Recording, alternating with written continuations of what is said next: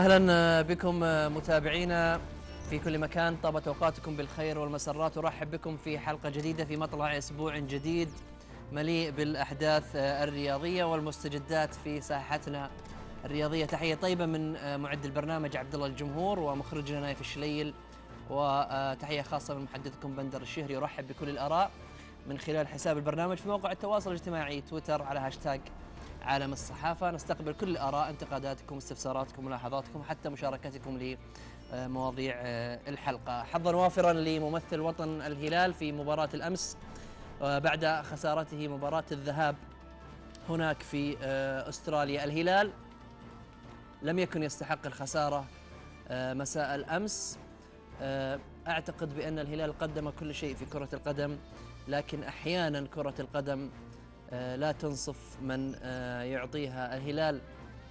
خسر الجولة لكنه لم يخسر المعركة. بإذن الله الحسم سيكون في الرياض السبت المقبل وبين سبعين ألف متفرج. في المقابل الفريق الأسترالي فريق من وجهة نظري الشخصية متواضع فنيا مرتبك مستفز للاعبين لاعبي الخصم وأيضا أعتقد بأنه حتى يفتقد بشكل كبير لشخصية البطل. شخصيا أستغرب وأتعجب من أن هذا الفريق يصل إلى نهائي آسيا. بل وأستغرب أكثر حينما أعلم بأن هذا الفريق هو من هو من أبعد حامل اللقب جوانزو الصيني ووصيفه في النسخة الماضية. بالتأكيد سنعطي مساحة لهذا الحديث في حلقتنا هذا اليوم. بالإضافة لي مجموعة من الوقفات سواء لدوري جميل أو مجموعة من العناوين. أستعرضها معكم بعد قليل ونناقشها مع ضيوفنا. نبدأ معكم العناوين.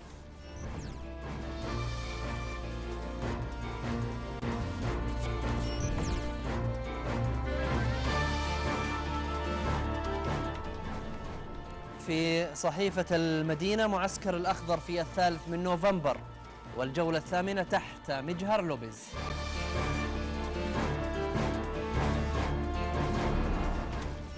وإلى الرياضي تكتل اتحادي أهلاوي لإسقاط الرابطة إدارتا فهد بن خالد والبلوي.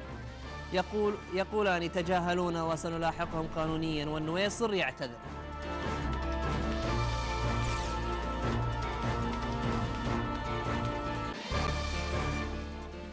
في الرياضية سيدني يفوز بضربة الحظ في ذهاب نهائي آسيوي والوليد يفتح الملعب لجماهير الوطن مجانا السبت المقبل. قدر الله وخسرت ولا أنت ما قصرت. خبراء يتحدثون لصحيفة مك مكة يقولون بأن التسرع وتأخير التغييرات سبب خسارة الهلال. وإلى صحيفة مكة الأهلي يتخطى الرائد برباعية والشعلة يقهر الفتح في الجولة الثامنة من الدوري السعودي. النصر يسقط الاتحاد بثنائية هوساوي وغالب في كلاسيكو أصفر عنيف.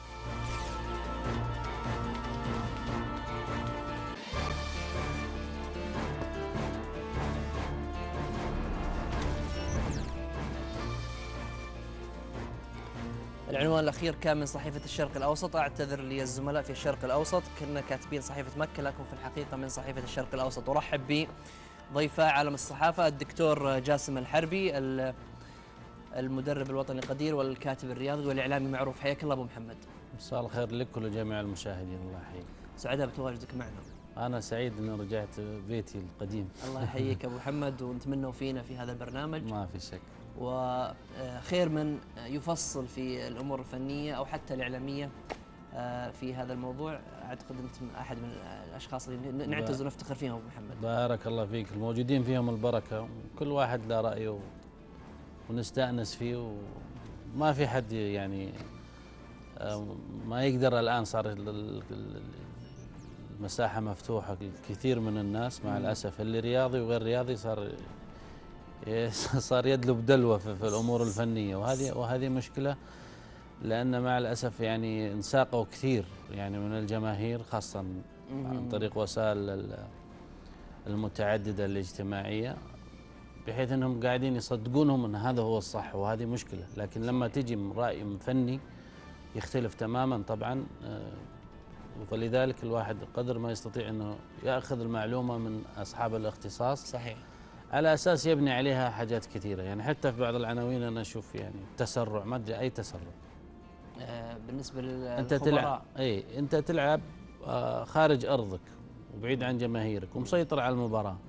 الفريق الثاني متكتل يلعب تسعة لاعبين. طريقة تقريبا تسعة واحد. نعم. إحنا بنرجع للموضوع. اي فأنا أقول لك يعني آه، آه، شرف لي. هذا وسطنا أبو محمد. ما- هذا وسط الرياضي. يعني لكن خلينا نقول إن في بعض الجماهير اي يعطيك آراء منطقية جميل. عقلانية جميل. متزنة. صحيح. وتلامس الواقع بشكل كبير سواء فنية أو حتى رأي عام من خلال رأي إعلامي أو جماهيري. والله شوف الآن ثقافة الجمهور عالية جدا بصراحة. صحيح. صار ما ينطلع عليها إنك تجيك تقول كلام وتصدقك على طول. آه، أعتقد متابعتهم الدوريات الأوروبية هذه ثقفت من صحيح. كثير من الشباب. فممكن هو يحلل لك المباراة من منظوره هو يعني من واقع خبرته ومشاهدته. لكن آه، لهم آراء جيدة لهم آراء جيدة. أنا أستفيد والله أحيانا من بعض الملاحظات. صحيح. من الدمام آه، أرحب بالزميل بدر الصقري رئيس القسم أو نائب رئيس القسم الرياضي بصحيفة اليوم. بدر مساء الخير وحياك الله معنا في عالم الصحافة. أنت كذا بتزعل علينا أستاذنا عيسى جوكم يا أبو نواف. لا مساء على العين والرأس، حياك الله. على الأستاذ جاسم الحربي. ومساء الخير على المستمعين الكرام. سعيد جدا بتواجدي معكم ومع ال- الدكتور العزيز. وإن شاء الله نقدم حلقة جميلة تليق بطموح المشاهدين الكرام. على طاري آه، عيسى الجوكم آه، زميلنا وأستاذنا آه، نعتز فيه من زمان ما طلع معانا ولا تواجد معنا لكن هو له كل التحية والتقدير. وأنت وياه عينين في راسه بدر. تسلم يا بندر الله يسعدك. قبل شوي كنا نتكلم عن مجموعة من ال- الأمور اللي حاصلة في وسطنا الرياضي.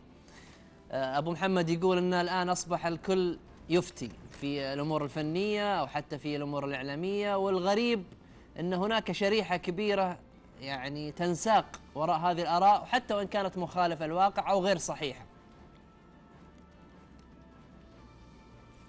ودائما خالف تعرف يا أبو نواف. الواقع الحالي لصحافتنا وتقريبا للمشهد الرياضي واقع مرير جدا. اختلط فيه الحابل بالنابل يعني الكثير أصبح يفتي فنيا آه، الكثير يتكلم آه، اعلاميا يعني اختلطت الأمور الآن. أنت ما ما عاد تعرف مين اللي اللي, اللي تاخذ منها الرأي الفني مين اللي تاخذ منها النقد الإعلامي. حتى الإعلاميين بعض الزملاء الآن اختلطت بعض الأمور. بدلا من أن يكون دور الإعلامي آه، النقد أو ال- ال- التقصي وال- والبحث عن عن بعض الأمور ال- الخاصة والخفية. أصبح الآن بعض الزملاء يفتي في الأمور الفنية آه، يقيم الجوانب الفنية أو عمل وتكتيك بعض المدربين وأنا أتفق كثيرا مع رأي الدكتور جاسم. يعني حقيقة واقعنا حاليا مزري و ومريب جدا. صحيح يعني حتى يمكن الدخلاء على الوسط الرياضي يا بدر آه، أو خلينا نقول آه، المشجعين هم اللي مو المشجعين اللي دخلوا الوسط الرياضي أو اقتحموا آه، الإعلام الرياضي يمكن كان لهم دور كبير في التأثير على آه، نوعية المتلقي واختياره. يعني خلينا أقول لك أصبحت هناك فئة كبيرة شريحة كبيرة تتابعهم تتأثر بهم وحتى تصدر آراء سلبية عن المجتمع الرياضي السعودي إلى المجتمعات الأخرى. هذا ما حذرنا منه كثيرا يا بندر. في أكثر من مناسبة حذ- حذرنا من مثل هذه الأمور. أنت لك الآن إنك تتخيل هنالك يعني تقريبا أكثر من من من ألف رئيس تحرير عندنا في هالبلد. مشجعين أتوا من من من المدرجات أو خلني أقول لك من الأبواب الخلفية. الآن كل يحمل صفة إعلامي أو رئيس تحرير صحيفة إلكترونية آه، يتسيد المشهد. آه، يعني حقيقة والله يا بندر واقعنا الإعلامي حاليا. بات ال- ال- المجال فيه مفتوح لكل من هب ودب. الجميع آه، يعني اقتحم هذا المجال دون سابق انذار. وزارة الإعلام يعني عليها دور كبير جدا في في هذا الجانب. أنا أعتقد إنه اذا إذا لم تنتبه وزارة الإعلام لهذه الأمور أنا أعتقد إنه القادم سيكون أسوأ. أنت تشوف التعصب الحاصل الموجود خلال الفترة الحالية. أنا أعتقد إنه يعني نسبة كبيرة من هؤلاء الدخلاء هم من شوهوا سمعة الوسط. الرياضي. يعني من متى وإحنا نتابع الإعلام الرياضي؟ لم يكن في يوم من الأيام ويعني يصل إلى إلى إلى هذه الدرجة من التعصب الممقوت إلا خلال الفترة الأخيرة. للأمانة تجاوزنا يعني بعض الأطروحات تجاوزت كل حدود الأدب، كل حدود اللباقة، لنا مؤخرا يعني تتخيل يا بندر أنا في في لقاء سابق يعني قبل كم يوم يعني شيء مؤلم إنك تتابع الآن برامج رياضية أو تتابع كتاب أعمدة وتشوف طرح يعني والله يندى له الجبين. مهما تكلمنا يا بندر عن هالموضوع وممكن يعني خلال ثنايا الحلقة إن شاء الله نتطرق لبعض الجوانب السيئة اللي اللي, اللي, اللي عانينا منها خلال الفترة الماضية. صحيح صحيح آه، بدر. خاصة اللي رفعوا شعار كلنا سيدني ضد ممثل الوطن. أعتقد هذا الموضوع مهم جدا. يجب أن آه، نتوقف عنده. إن شاء الله راح نناقشه. خلونا نبدأ معكم نستعرض جولتنا الصحفية وأول عنوان من صحيفة المدينة.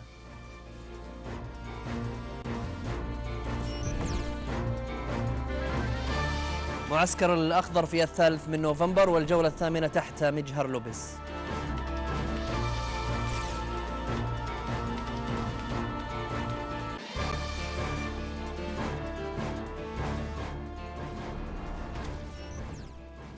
جاء في التفاصيل ينطلق في الثالث من نوفمبر المقبل معسكر المنتخب السعودي الأول لكرة القدم ضمن المرحلة الرابعة والأخيرة استعدادا لخوض منافسات كأس الخليج العربي الثاني والعشرين التي ستحتضنها مدينة الرياض. في الثالث عشر من نوفمبر. يبدأ آه، معسكر المنتخب من خلال تجمع اللاعبين وسيستمر لغاية السابع من نوفمبر وسيستأنف المعسكر في الثامن من نوفمبر مساء في مدينة الرياض.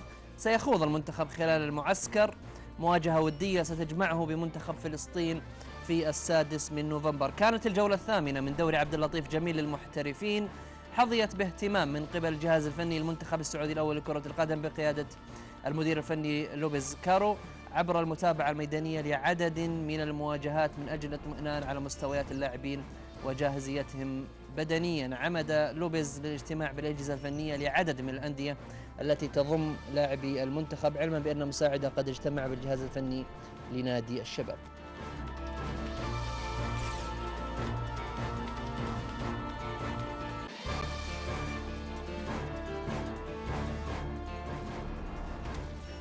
دكتور جاسم آه، هل هذه المعسكرات المتتالية منطقية في إطار استعدادك لبطولة؟ آه، غير معترف فيها دوليا آه، في هي بطولة الخليج؟ والله شوف خلينا نا- ناخذ فترة الإعداد. هل هي منطقية أو غير منطقية؟ أنا أول مرة أشوف مدرب يمسك الهرم من فوق لتحت. يعني عادة في كرة القدم مدربين العالم كلهم لما. تيجي فترة إعداد تبدأ المباريات السهلة المتوسطة إلى تجيك المباراة اللي هي الصعبة اللي لها ثقلها الفني صحيح. إحنا بدينا بالعكس بدينا بال أرجنتين أوروغواي. أرجنتين اورجواي لبنان الآن فلسطين. طب ليه ما سويت قلبت الهرم هذا وبديت فلسطين لبنان الارجواي الأرجنتين؟ حتى تصل لذروة المستوى الفني. هذا صح لكن أنا ما أدري يعني وش الهدف من لوبيز؟ إنه يعني المباريات الضعيفة يخليها آخر شيء. يمكن عشانها قريبة من مستويات مستويات المنتخ- المنتخبات الخليجية بتشارك معك في البطولة. ترى هذا رأيي أنا أتكلم جد. طيب okay okay. هذا رأي طرح من السيد لوبز أو طرح عليه و... وكانت هذه وجهة نظره. وجهة نظره أن ما يستقر على تشكيلة بعد في بطولة الخليج. يعني كل مباراة مع كل دولة بيحط لنا تشكيلة جديدة هذا شيء ثاني بعد. هنا الرجل قاعد مع الأسف أنه يعني قاعد يتخبط في, المنتخب بدون أي تدخل من لا من الأستاذ أحمد عيد ولا من أحد. وتكلمنا من هنا كثير وقلنا يا ناس خلوا لجنة فنية تقيم عمل ناس فنيين مو بناس اننا ما عمرهم دربوا ولا عندهم تأهيل في, في, في التدريب يجي يقيم له مدرب مثل لوبيز. هذا مو منطق ولا هو ولا هو بعدل. ما تبغى تجيب يا أخي لجنة عندك سعودية جيب يا أخي لك مقيم فني أجنبي. أنت كذا كذا يعني دافع دافع. على الأقل يعطيك تقارير فنية عن البرنامج التدريبي الزمني اللي يقدمه المدرب من خلال إعداده للمنتخب سواء بطولة مثل هذه أو حتى بطولة آسيا. إذا استمر لوبيز بدون نقاش في الأمور الفنية صدقني زيه زي أي باقي المدربين بيصيروا وغيره اللي خب- خبطوا وطلعوا. لكن لغة الأرقام أبو محمد ما علي أنا لغة من- الأرقام تقول إن لوبيز لم يخسر مباراة رسمية. ممتاز. وإذا ليش أنا أنتظر لما تجيني المباراة اللي فيها الحسم وأخسر وأطلع برا؟ ليش ما أكون أهيئ الفريق بشكل يعني منسجم من خلال استقراري على العناصر من خلال وجود عناصر على دكة الاحتياط شبه ثابتة عندي؟ يعني عندي رؤية واضحة مع نفسي مع الإعلام وحتى مع الفرق الأخرى. يا أخي أي فريق الآن أي منتخب تعرف ال 11 لاعب وتعرف ال- ال- الاحتياط اللي موجودين عليه. هذا ما صار سر يعني. أنت السر هو أداء اللاعبين. السر إنك تستفيد من الأخطاء أو اكتشافها أثناء المباراة. إذا أنت مدرب ذكي هتعرف إن نقاط الضعف والقوة ممكن تتغير من مباراة لمباراة. لأن شوف أحيانا ممكن يكون عندك key factors هو لاعب مفتاح لعب. بجهة اليمين شوي تنصاب في أول دقيقة أو دقيقتين تغيرت موازين الفريق اللي أمامك. فالمفروض إنك تغير عشان تستفيد من الناحية هذه. طيب. هذا مش موجود. لكن بندر آه، لي كلمة بس أخيرة. لوبيز لابد أن يجل يعني يتم النقاش معه في الأمور هذه. إذا ترك فمعناتها أن في الاتحاد ناس لا لا تف لا تفهم شيء في كرة القدم وإنه هو اللي فاهم كل شيء. وهذه مشكلة. حتى تعاقدهم معه ما كان بالشكل الصحيح. يعني صلحوا الغلط بغلط.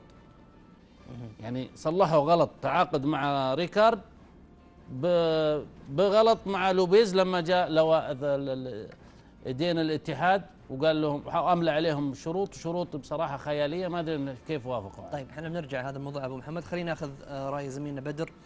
بدر بالرغم من ان النتائج اللي قدمها لوبيز مع المنتخب السعودي نتائج جيدة لم يخسر مع المنتخب السعودي في مباراة آه، رسمية إلا أن هناك عدم رضا من المجتمع الرياضي. خليني أسألك ما هو السبب في آه، عدم إقناع لوبيز للمجتمع الرياضي من خلال المستويات التي يقدمها أو حتى آه، كيف يصل إلى طريقة من خلالها يمكن أن يقنع المجتمع؟ ابو نواف لا يفتى وفي المدينة مالك. في الأمور ال- ال- الفنية أعتقد إن ال- ال- الكابتن جاسم وفى وكفى. لكن أنا أنا الجزئية البسيطة اللي تخص المدرب لوبيز أنا أعتقد إنه الخبر اللي طلعتنا فيه قبل قليل يكشف مقدار التخبط الحاصل في في في الجهاز الفني للمنتخب السعودي الأول. يعني فعلا إعداد بالمقلوب. وش الفائدة الفنية العظيمة اللي راح يجنيها المنتخب السعودي عندما يقابل منتخب متواضع مع احترامي وتقديري للمنتخب الفلسطيني؟ أعتقد أنا أنه يعني كل كل العالم اللي تفهم في كرة القدم تتفق على أنه حتى على مستوى الوديات في في المعسكرات الإعدادية تبدأ بالفرق ال- ال- ال- الضعيفة نوعا ما ثم المتوسطة ثم الفرق القوية حتى تصل إلى إلى إلى كامل جاهزيتك. أنا ما أدري يعني وش ال- ال- اللي راح يوصل له الكابتن لوبيز كارو من من هذه المباراة. عموما مسألة الإقناع أنا أنا أجزم إنه الشارع الرياضي بما نسبته تقريبا 90% لا يؤيد استمرار السيد لوبيز كارو هنالك عدة أمور يعني أعتقد أنها أنها آه، يعني آه، لا لا لا لا, لا تشجع على استمرار هذا المدرب. عدم ثبات لوبيز كارو على تشكيلة معينة انتدابه لعدد من الأسماء وتغاضيه عن بعض الأسماء خلال فترات ماضية. عمل المدرب غير مقنع حتى الآن. ممكن تقول لي بندر أنت المدرب لم يخسر أي مباراة رسمية حتى الآن. خلني أرجع لك أنا على السيف اللي أنت تتكلم عنه. مين قابل السيد لوبيز كارو خلال آه، قيادته للمنتخب السعودي الأول. أعتقد إنه قابل المنتخب الإندونيسي قابل المنتخب العراقي. من باقي من المنتخبات يا اللي, اللي, اللي, قابلناها. أنا أعتقد إنه حتى أمام المنتخبين الإندونيسي والعراقي كان هناك كثير من الانتقادات الفنية. يعني طالعنا العديد من المدربين والنقاد الفنيين بجملة أخطاء كبيرة جدا على على المدرب ال- الأسباني. الاتحاد السعودي راح يدفع ثمن هذه المكابرة أنا أعتقد إنه الآن ال- ال- الاتحاد السعودي ممثلا بالأستاذ أحمد عيد يكابر بمسألة استمرار لوبيز كارو حتى الآن مدربا للأخضر. هم الآن أعتقد أنا والعلم عند الله انه انه السياسة اللي اللي ماشي عليها الاتحاد السعودي إنه راح تكون محطة كأس الخليج يعني حكم نهائي. وهنا مشكله مشكلة كبيرة. إذا كنت بتتعاقد مع مدرب آخر بعد كأس الخليج ايا كانت النتائج. يعني تتوقع لو خسر المنتخب لا قدر الله مثلا البطولة بطولة كأس الخليج وهو المستضيف. راح يبقى السيد لوبيز؟ مستحيل جدا. أنت ترتكب الآن خطأ ثاني فيما لو تعاقدت مع جهاز فني جديد. يعني أقول لك في في في عدم ضبابية في في عمل الجهاز الفني هنالك تخبطات إدارية يتحملها في المقام الأول الأستاذ أحمد عيد. السياسة غير واضحة الكثير من النقاد والمتابعين والمدربين الوطنيين اتفقوا إن المدرب يصلح ربما لكل شيء إلا للتدريب في عالم كرة القدم. طيب طيب على هاشتاج عالم الصحافة آه عبد الرحمن الغيث يقول أنا خالف الدكتور جاسم الحربي أن آه، بالعكس لوبز مستقر على تشكيله ويمكن تغيير عنصر أو عنصرين الرجل لم يهزم في أي مباراة رسمية. آه، أحمد الزهراني يقول العيب في بعض اعلامينا وليس مدربينا آه، طبعا مجموعة من التغريدات تتكلم عن موضوع الوطنية ويجب عدم خلط الخلط بين الوطنية والانتماء للأندية وعدم مساندتها. ناصر بن عبد العزيز يقول قبل ما تناقشون اللي رفعوا شعار كلنا سيدني أيضا هناك من شكك في إنجاز سعودي وشكك في مشاركة النصر. هناك من شكك في مشاركة النصر في كأس العالم للأندية. طيب إحنا هذا الموضوع إن شاء الله راح نعطيه مساحة بنناقشه مع ضيوفنا. دكتور دائما بطولة الخليج يصاحبها جدل يعني سواء على مستوى المنتخبات على مستوى آه، أمور كثيرة. الآن يعني حتى موضوع آه، يعني موضوع الشركة الناقلة للتلفزيون للمباريات أو الشركة الحصرية فيها جدل كبير حول آه، اللي قاعد يصير الآن والبطولة ما بقى عليها إلا أقل من أسبوعين. والله شوف هل آه، طبيعية ولا بطولة الخليج تحديدا لها نكهة خاصة حتى في آه، كرها وفرها وما يحدث فيها؟ لا لها نكهة خاصة بس مو بالطريقة هذه. يعني إحنا عادة بطولات الخليج أول من ثلاث شهور تصير يصير الجدال والنقاش في الإعلام وكذا. بشكل حبي وكل واحد طبعا يدلو بدلوة من خلال ما يراه مناسب سواء لمنتخبه أو ضد المنتخبات الأخرى بحيث إنه ما يتجاوز حدود المنطق والمعقول. آه الآن دخلنا في عصر الاحتراف وعصر التشفير فبالتالي دخلت شركات الآن على إنها تحتكر النقل وهذا طبعا خاصه بطولة الخليج بالذات. أنا من وجهة نظري خطأ كبير إنهم وافقوا. آه، أن تعرض جميع مباريات النقل بالطريقة هذه من المفترض أن التلفزيون السعودي هو من آه، ينقل وطبعا بطريقته هو يقدر آه، يعني يعطي الحق وأفضلية للقنوات الأخرى أنها تنقل. بس صارت منافسة يعني تحرص عليها الشركات يعني مثل هذه البطولات تحظى بمتابعة جماهيرية كبيرة.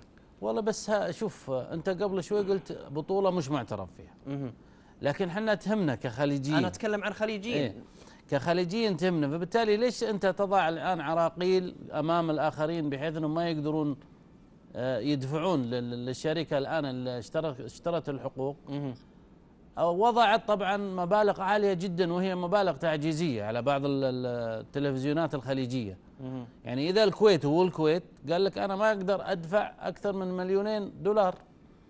الحد السقف الأدنى اللي موجود الآن خمسة خمسة مليون دولار.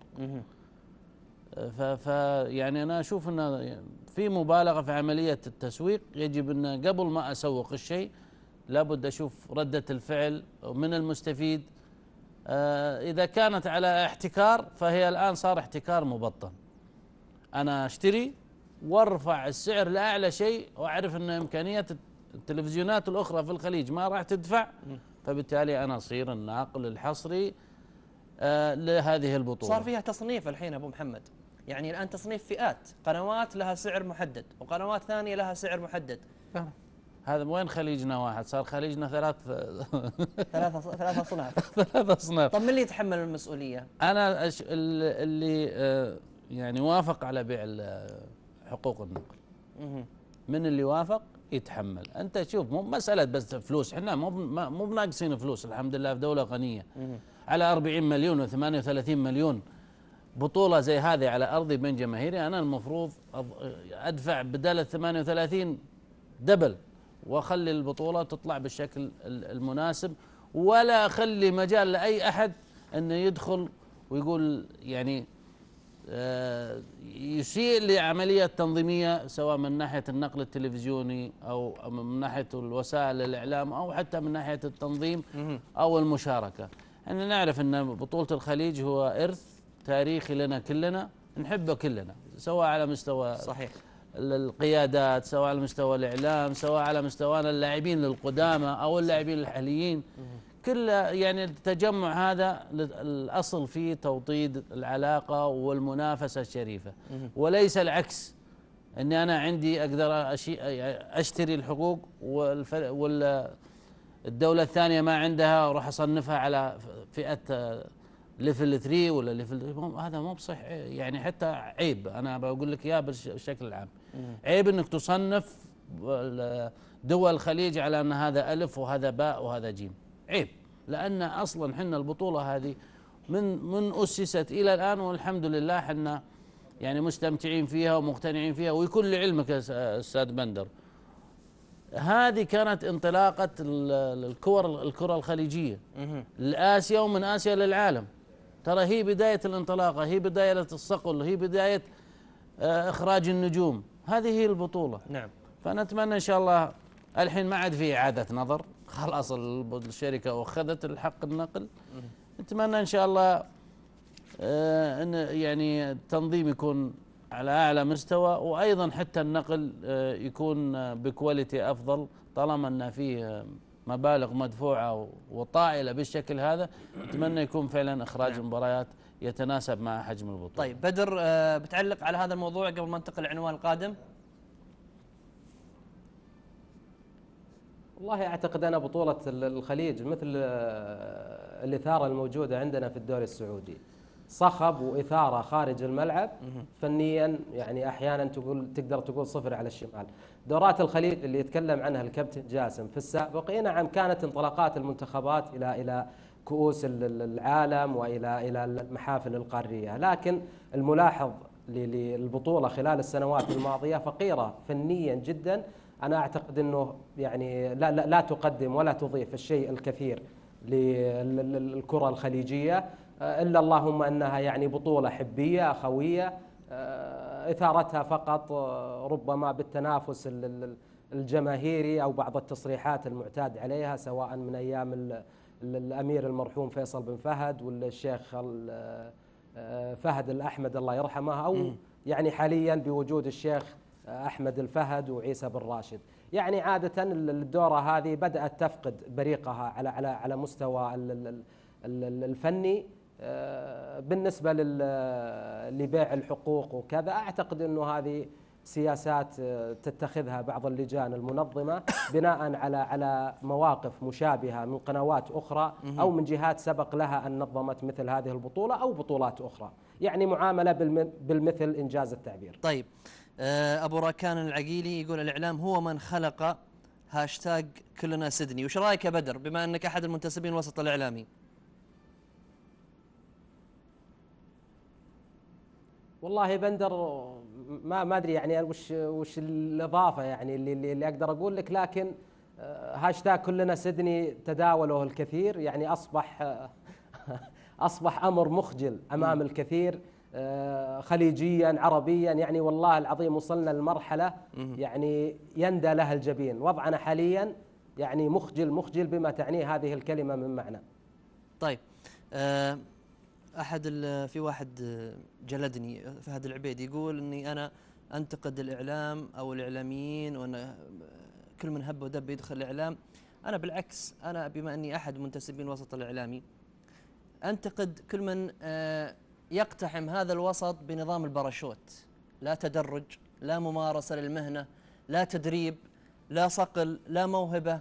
فبالتالي هم اللي أثروا طبعا هم قلة قليلة شريحة سلبية إن صح التعبير آه، هم اللي قادونا إلى تصنيف الإعلام تصنيف أندية. ولا هناك إعلاميين كثر أساتذة آه، وصلوا إلى مراحل كبيرة من خلال التدرج. أنا ما أتكلم عن هؤلاء أتكلم عن القلة القليلة اللي أثروا على وسطنا الرياضي بشكل سلبي واقتحموا هذا الوسط بفيتامين آه، واو. أتحول إلى عنوان صحيفة الرياضي.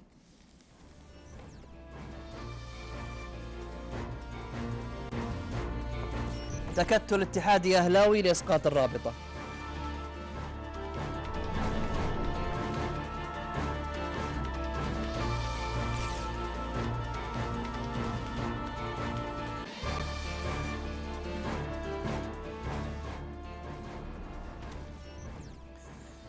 في التفاصيل تحرك الاتحاديون والأهلاويون على قدم وساق أمس السبت لإسقاط قرار رابطة دوري محترفين بإدارة وتسويق 16 جناحا ملكيا في ملعب مدينة الملك عبد الله بن عبد العزيز الرياضية بجدة وطالبت إدارتا الأمير فهد بن خالد وإبراهيم بلوي بتدخل الأمير عبد الله بن مساعد الرئيس العام لرعاية الشباب لإعادة حقوق الناديين. لوح الاتحاد بملاحقة رابطة دوري المحترفين قانونيا وقال في بيان رسمي أصدره أمس تابع مجلس إدارة النادي بكل استغراب ما قامت به رابطة هيئة دوري المحترفين بالإعلان من خلال منصة مكاني عن بدء بيع مقاعد في الأجنحة الخاصة بملعب مدينة الملك عبد الرياضية بجدة لمباراة الاتحاد المقبلة أمام فريق هجر وحيث أنه لم يتم استشارتنا أو التنسيق معنا أو مع شركة صلة الرياضية صاحبة حقوق تسويق التذاكر الخاصة بالنادي في هذا الخصوص.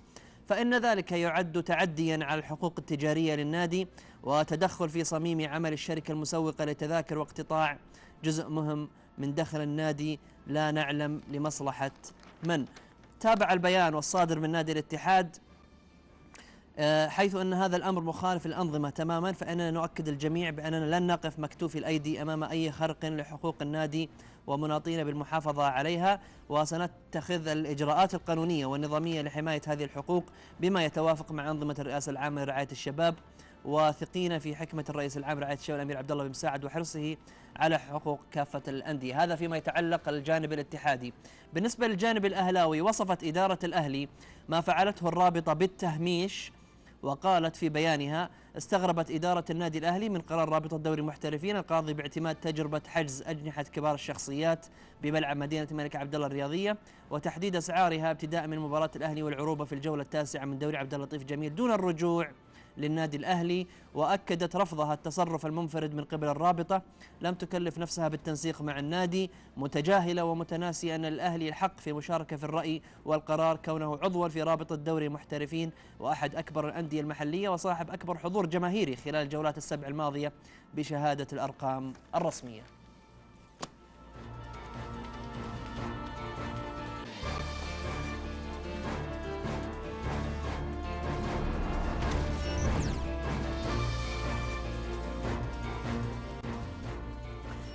آه، أبو محمد كيف تعلق على هذا التكتل؟ غضب أهلاوي اتحادي. والله في محله بصراحة. يعني من المفترض إن يكون عندهم يعني حق لهم من حقوقهم أخي عملية التجاوز هذه أو التجاهل هذا تجاهل قبل ما يكون تجاوز. يعني حتى ادبيا مش مقبولة من بس أعتقد إن الأستاذ محمد نويسر راقي جدا في تعامله ما أعتقد إنه يعني يمكن مرت عليه مرور الكرام. أو إن في بنود من أحد بنود العقد إنهم يقدرون يتصرفون يتصرفون بدون ما يرجعون للأندية. بس ما اشتكوا وتكتلوا إلا إن في لهم حق ومشروع في العملية هذه. ولكن إحنا مشكلتنا أحادية القرار إن الواحد ياخذ يتخذ قرار ولما تصير في مشكلة يرجع ويصير في اجتماع. وهذه حاصلة ترى على فكرة في اللجان عندنا على طول. كل واحد يعني واحد يتبنى له قرار ويصدره وبعدين لما تصير مشكلة يسوي لجنة من جديد ويحاول يبحث عن الحلول.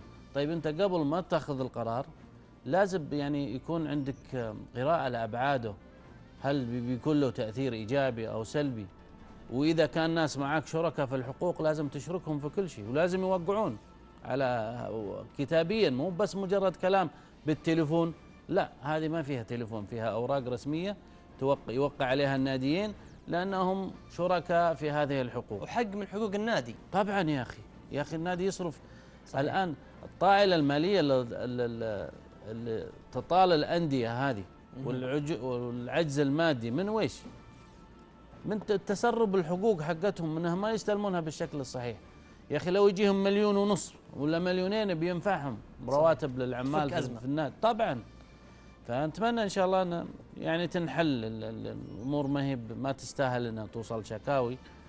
آه يعني كاتب سنلاحقهم قانونيا معناتها شكاوي ما في لكن إن شاء الله يعني آه التكتل هذا نعتبره إيجابي من حق الاتحاد من حق الأهلي من حق أي نادي ترى. ترى بأن هناك آم، جدل كبير دائما يحوم حول الرابطة حول العاملين فيها حول العمل الذي يقدمونه. والله شوف أنا عندي مبدأ دائما أي مكان اي أي لجنة أي رابطة يصير عليها نقد كبير فمعناته هي تعمل لأن إن كثرت اخطائها فاذا الأخطاء موجودة بسبب عمل. وإن كثرت إيجابياتها فوفقوا في اختيار العناصر المناسبين في هذه اللجنة فهنا لابد تقيس يعني إذا كانت السلبيات أكثر. فمعناته لابد إعادة النظر في اللجنة لكن إذا كانت إيجابياتها أكثر فيجب أننا يعني نطور هذه الإيجابيات ونحاول نحسن من أداها بجلب أيضا قدرات تعطيك أفكار جديدة بحيث أنها تدعم آه هذه اللجنة. ولكن للأمانة اللجنة يعني منطقيا في من يشكي منها وفي من يعني يثني عليها فإحنا ما نقدر نقيم الشيء إلا لما تشوفه بشكل نعم. واضح يعني. طيب بدر آه، الأهلاويين والاتحادين زعلانين على الرابطة. يحق لهم يا بندر الخطأ اللي اللي حدث خطأ بدائي خطأ لا لا يغتفر من الأسماء اللي تتسنم الهرم الإداري في الرابطة مثل الأستاذ محمد النويصر وكذلك المسحل وبقية أعضاء الرابطة. أسماء خبيرة آه، يعني آه، اي اي ايا كان التبرير. أنا اليوم طلعت تبرير لل- للأستاذ محمد النويصر إنه يقول ال- ال- الأمر هذا حدث وأنا كنت في في سيدني لمؤازرة ممثل الوطن ولم يكن هنالك تنسيق بيني وبين الأخوان في الرابطة وما أدري إيش وعامل التوقيت. مم. على كل ال- ال- الأستاذ محمد النويصر اعترف بالخطأ قدم اعتذاره يحق للناديين التكتل. هذا حق من أبسط حقوق الأهلي والاتحاد. متى ما صعد الناديين القضية ال- الجميع يقف في صف الأهلي والاتحاد أعتقد ان إن القضية يعني بحكم العلاقة اللي, اللي تربط الجميع ربما يتم يعني إذا ما فهمت وبررت ال- ال- الأسباب الحقيقية مهم. آه، ربما يعني آه، يتنازل الأهلي والاتحاد عن القضية. الرابطة يا بندر دائما ما تكون مثار جدل آه، في جميع الدوريات في العالم وليس في الدوري السعودي، يعني أنا أشبه ال- رابطة المحترفين ب- بوزارة المالية في أي دولة من الدول، دائما ما تكون آه، يعني مثار سخط واستياء ال- ال- الإدارات الأخرى اللي اللي ترتبط ارتباط كلي ووثيق بمثلا وزارة المالية، الرابطة معنية ب- بتمويل الأندية، معنية بكثير من الأمور المادية، دائما أي مكان يكون فيه أمور مادية دائما ما يكون أو ما تكون العين عليه وما يكون ال- ال- ال- ال- ال- ال- المكان مثار جدل للجميع. بس يفترض وعلى رئيس كل الرابطة يعني مطلع على كل شيء يا بدر خطأ. صحيح أتفق معك تماما يا بندر. ولا أبرر خطأ الرابطة وأنا أقول لك من حق الناديين يعني إنهم يصعدون القضية إلى إلى أعلى جهة متى ما أرادوا. الخطأ كبير جرم لا يغتفر اطلاقا خصوصا إن الأسماء المعنية أسماء خبيرة ولا يمكن أن تنطلي عليها مثل هذه الأمور. أنا شخصيا كبدر الصقري أو كإعلامي سعودي. تبرير الأستاذ محمد النويصر اليوم لم يقنعني اطلاقا. ايا كان فارق التوقيت. لا يمكن ويعني بدون أدنى شك لا يمكن إنه يتم عمل يعني مثل هذه الأمور إلا بتنسيق مباشر مع رئيس الرابطة. يعني أنا ما أعتقد إن في أحد من الأعضاء كذا من راسه بيسوي ال- ال- الحاجة هذه. عموما آه، الجميل في الموضوع مثل ما قلت لك اعتراف الأستاذ محمد النويصر بالخطأ تقديمه واعتذاره يبقى الحق لنادي الأهلي والاتحاد. طيب آه، حتى تكون الصورة واضحة محمد النويصر قدم رئيس رابطة دوري المحترفين قدم اعتذاره لادارتي الاتحاد والأهلي على اتخاذ هذا القرار دون الرجوع لكليهما مؤكدا بأن الرابطة ستعيد مناقشة الأمر مع الإدارتين وجميع الجهات المعنية. يا أخي الغريب شلون يصدر القرار أنا كرئيس رابطة ما أدري عنه. هذا دليل تخبط في اللجنة في الرابطة. وكيف ليش اختاروا التوقيت هذا إنه يكون هو في سيدني عشان فارق التوقيت وخلوه هذا عذر؟ هذا ما أدري يعني كانه سيناريو معد للشيء هذا. إنه والله نسكتوا الأندية والله صار. بس ما دام إنه يعني أنا أوافق ال- الأستاذ بدر قدم اعتذار. فالاعتذار يعني من شيء من يعني من شيم الكبار ترى مو بالعكس. طالما إنه حسن خطأ لكن شلون يصدر قرار؟ يعني خلي القرار الآن. كيف صدر القرار؟ وأنت كرئيس لجنة ما تدري. هذه مصيبة كبيرة معناته عندك ما ابدا أنت مو برئيس ولا تدري وش اللي قاعد يصير. أو إنه مخطط له فعلا وأنا أكون في سيدني وفارق التوقيت وإني ما أدري وان مشت مشت إن ما مشت والله نعتذر. يعني إحنا ما نحط سوء النية لكن هذا السيناريو حقها. ما في شيء ثاني. يعني ممكن تكون مخطط لها والنويصر ما يدري؟ ممكن. لكن يصدر القرار بدون علم رئيس اللجنة فهذا قمة التخبط ويجب مو بس هو يعتذر والمسحل يعتذر وكل أعضاء ال- الرابطة يعتذرون. هي ما هي بمسألة والله أنا أرمي القرار وأشوف ردة الفعل. والله الناس اسكتوا. مشى القرار والناس والله تعارضوا. أرجع أقول والله أنا آسف ما كنت موجود فارق التوقيت ومش عارف إيش. أنا كرئيس لجنة يجب ان ما يصدر أي قرار إلا بالإجماع ولا ما في فائده من لجنتي أصلا. يعني ما يمكن و- وبدر وإنت كبندر كلجنة يجب إن إحنا ثلاثة نوقع على القرار مثل هذا على أساس نتحمل المسؤوليه فما بالك إذا كان رئيس الرابطة. تو ماتش بصراحة. رئيس الرابطة يقول لك أنا ما أدري فارق التوقيت. هذا هذا يعني مش مقبول. لكن المقبول منه إنه رجع. الوضع الصحيح إنه في خطأ. لكن إذا تكرر فمعناته اللجنة كل واحد يغني على ليلى على بالطريقة هذه طيب نواف المزمومي على هاشتاج عالم الصحافة يقول آه، الأستاذ جاسم الحربي من أبسط حقوق هذه الأندية المطالبة بحقوقها لدى الرابطة. صحيح طيب هذا اللي قاله قبل شوي أبو محمد ولا لا؟ إيه؟ نعم هذا حق هذا حق من. حقوقها نعم. آه. آه ممدوح آه الراوي شكرا لك. آه عبد الله آه يقول محمد النويصر يعتذر وللأهلي للأهلي والاتحاد الحق صحيح؟ طيب إحنا بنرجع لمجموعة من التغريدات. عندنا عنوان آه، يتحدث عن مباراة الأمس وخسارة ممثل الوطن الهلال.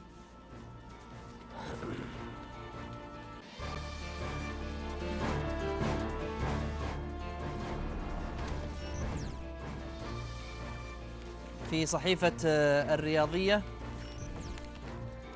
آه، سيدني يفوز بضربة الحظ في ذهاب النهائي الآسيوي. الوليد يفتح الملعب لجماهير الوطن مجانا السبت المقبل والرياضية وضعت عنوان جميل قدر الله وخسرت ولا أنت ما قصرت؟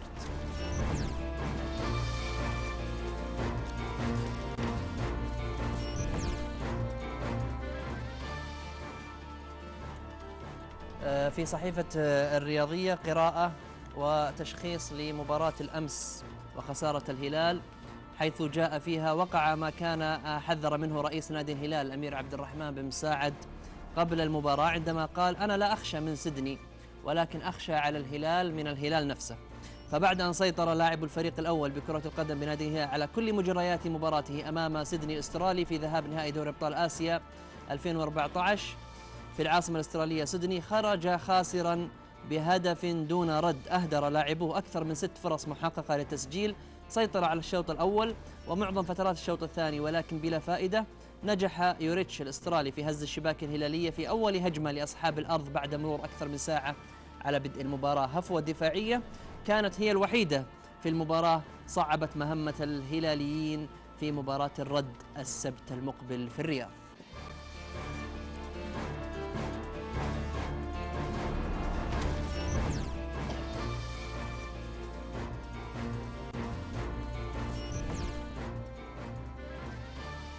بدر خليني أبدأ معك، هل كان يستحق الخسارة الهلال؟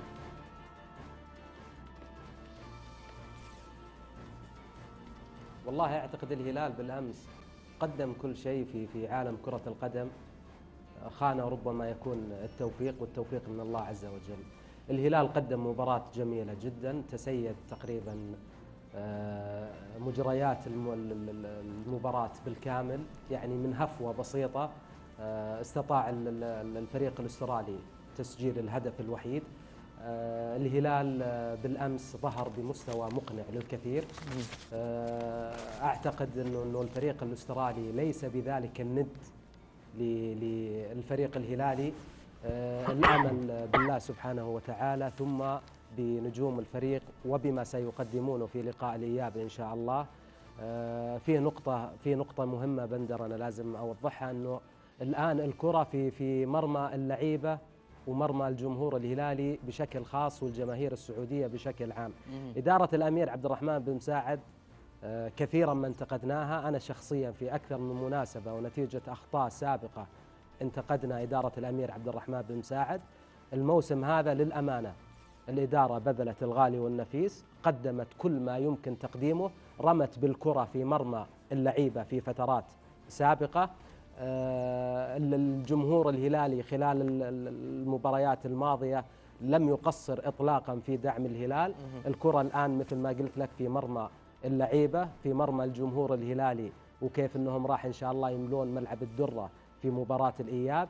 آه، بالأمس بندر يعني كل شيء فعله ال- ال- ال- ال- ال- الهلال إلا اللهم أنه لم لم يوفق بالتسجيل، هنالك بعض الملاحظات وأنا ما ودي اسهب ببعض الأمور الفنية بحكم وجود الكابتن جاسم وعلى أساس ما أكون متناقض اني إني قبل قليل انتقدت من من يتكلم من بعض الزملاء بالأمور الفنية. عموما أنا أعتقد إنه بس جزئية بسيطة. هنالك آه، انتقادات يعني طالعنا فيها الكثير وربما تكون آراء فنية آه، تخص المدرب ريجي.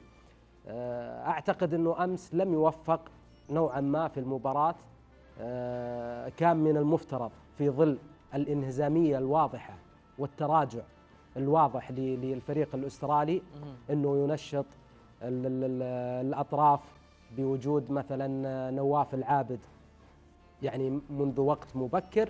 آه، كذلك آه، أو أو أو إنه مثلا يلعب بمهاجم آخر. كذلك بعض اللعيبة أنا في لاعبين بالهلال لم يكونوا في يومهم آه، سلمان الفرج لم يقدم المستوى المأمول منه كذلك نفز في في دروب كبير يعيشه هذا اللاعب.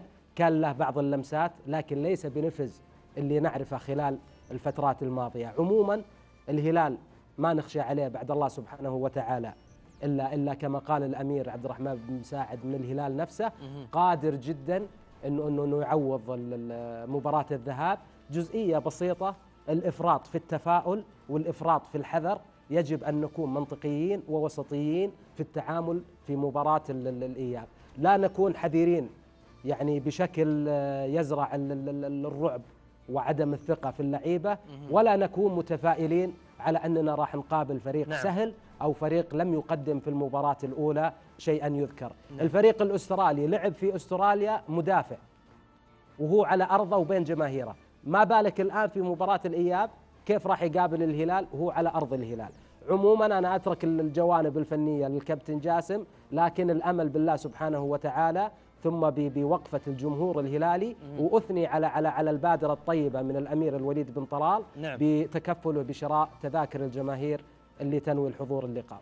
وقفة غير مستغربة من آه، آه، أحد الداعمين للرياضة السعودية ومن آه، يضع رياضة وطن أمام عينيه الأمير وليد بن طلال بالفعل يعني تحية شكر وتقدير لما يقدمه لممثل الوطن أو حتى لبقية الأندية السعودية أو حتى لبقية من يحققون إنجازات رياضية باسم الوطن. أنا لما أتكلم عن آه، بدر قبل شوي لما قلت في بداية حديثي في آه، بداية الحلقة أن فريق مرتبك آه، يفتقد لشخصية البطل آه، ضعيف ضعيف فنيا لأن بالفعل آه، سيدني أمس فاجأ الجميع. يعني آه، يمكن حتى اللي لديهم الحد الأدنى من آه، ال- الأمور الفنية أبو محمد فيما يتعلق بمباراة الأمس يعرف أن هذا الفريق آه، أو يستغرب كيف وصل لنهائي آسيا كيف أخرج حامل اللقب جوانزو الصيني.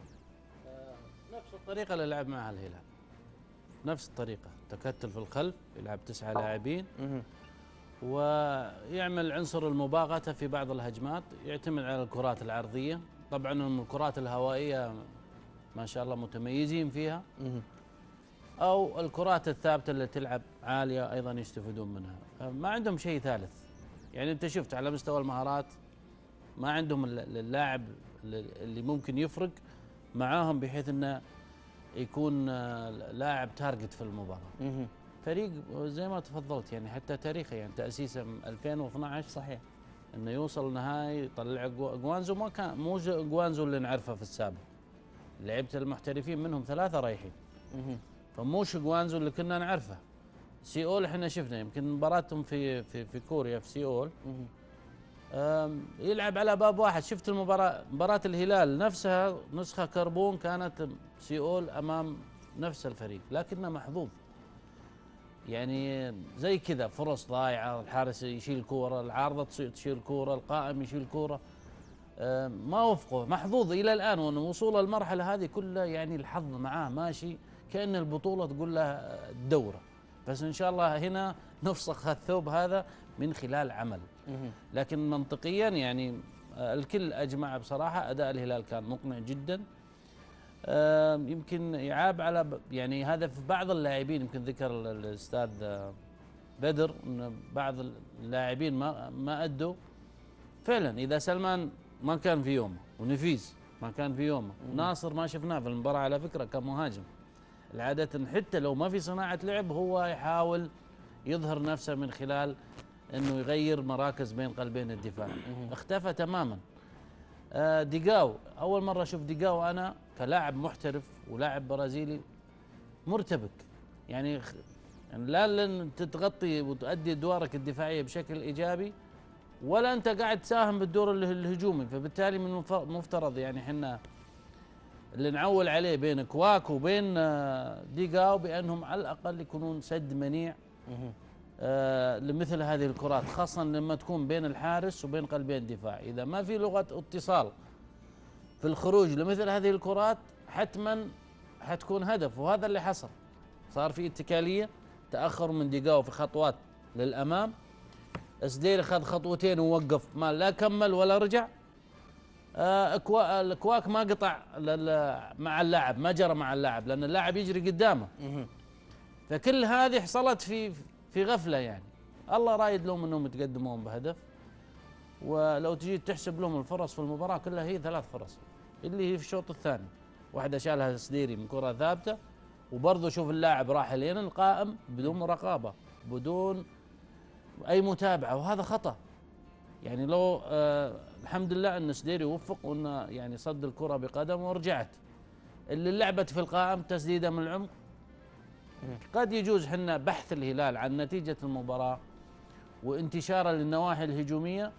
هو سبب إن أحدث هذه الأخطاء وبالتالي استفاد منها. ترى كل 11 دقيقة فقط اللي اللي تقدر تقول يعني تحسب للفريق هذا أمور فنية. ما عدا ذلك تقريبا شبه مستسلم. طيب ممكن البعض يقول إنها عدم كشف أوراق من قبل سيدني لفريق الهلال خاصة طيب. في الشوط الأول. ممتاز. لو كلمة لو من عمل الشيطان. الفرص اللي جات للهلال قبل ما يسجل.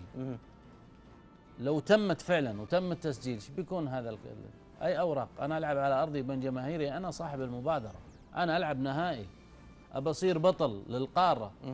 أكون قابع بالشكل هذا كأني فريق. حتى أنا أنا كنت أحللها أمس في الدوري والكاس. قلت كأنه فريق جامعة. يعني كأنه فريق جامعة مجمع ويلعب باسم نادي.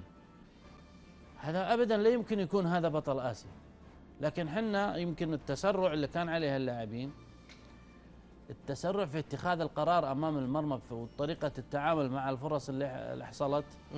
بطء أحيانا في عملية بناء الهجمة وتدوير الكرة هذا كان من الأسباب. آه، لما طلعوا تركوا ملعبهم هم وسووا لك فراغات صار الهلال ينقل الكرة برضو بطيء. كان هذه فرصة إن إحنا يعني نسرع اللعب اللعب من لمسة واحدة تغيير المراكز السريع مهارات عندنا عنا أعلى. المشكلة الأكبر إن كل العرضيات اللي كان يقدمها الهلال من اليمين أو من الشمال كانت عرضيات كلها عالية لصالح الحارس كانه يمرنون الحارس أو قلوب الد- الدفاع.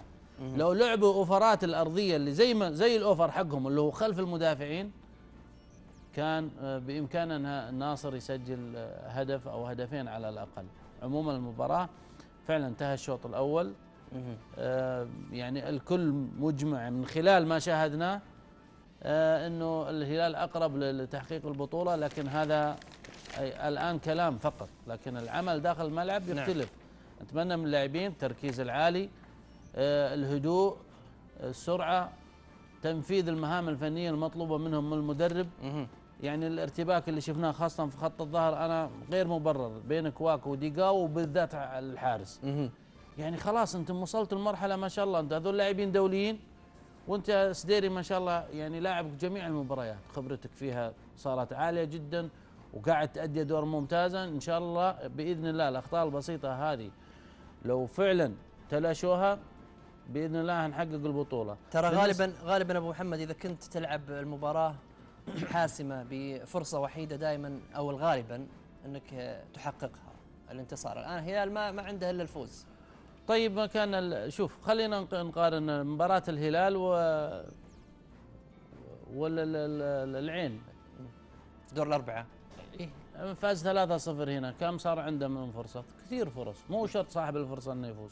كان يعني كان العين عنده فرصة واحدة إنه يفوز فقط. لكن الهلال يخسر يمشي الحال تعادل يمشي الحال. يعني عنده ثلاث الفرص موجودة. فعموما هو يعتمد على نوعية المنافس. الآن نوعية المنافس وضح لنا مش هذاك ال- الند القوي. نعم. لكن كيف حنا نفكك هالجدار اللي هم عاملينه؟ عاملين بلوك في الخلف مو طبيعي. صحيح. وحتى آه، بنية جسمانية قوية. وأنا شوف ويمكن حتى واجه صعوبة الهلال في طبعا اختراق العرضية. الاختراق أنا أنا ال- ال- المشكلة ال- يمكن عملت احصاء أنا يمكن حوالي تسع مرات حاولوا يخترقون من العمق الهلال. يا أخي العمق مقفل. إحنا في كرة القدم في العرف حقها إذا خلاص مقفل لك طريق لازم تبحث عن طريق طيب أبو محمد عندنا عنوان عن. الفنية. تفضل. ناخذه وبنرجع لك. بس قبل ما ناخذ العنوان في عندنا رأي لزميلنا فيصل الجفن في صحيفة النادي. تحدث عن آه، مباراة الهلال وكان له رأي خاص.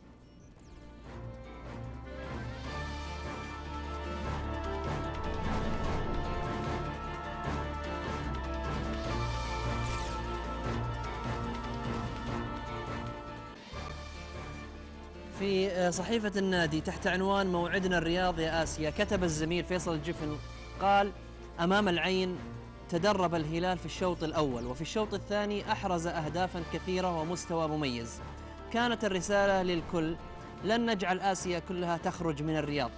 في ذهاب النهائي قابل الهلال فريقا يشبه آه، منتخب اليونان حينما جعل كل أوروبا تكون خلفه ويعلو عليهم فريق يوحي لك أحيانا بأنه ضعيف وفي لحظات يجعلك تعيد حساباتك. فريق بصراحة ثقيل طينة لكنه موعود بمباراة رد أمام هدير مدرج قادر على جعل كل لاعب فيهم ينبهر كما حصل مع العالمي جيان حينما لعب أمامهم.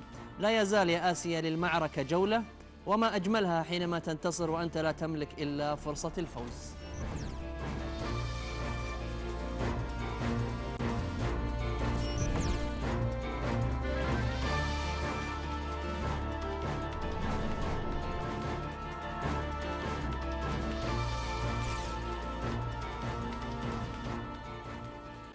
بدر إيش رأيك في رأي زميلنا آه، فيصل؟ دكتور جاسم يقول كان رأي جميل.